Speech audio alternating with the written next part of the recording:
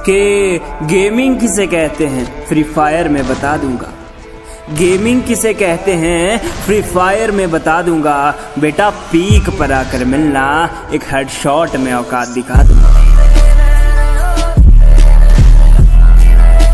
तुम रखो हथियार, हम पैन से डरा देंगे।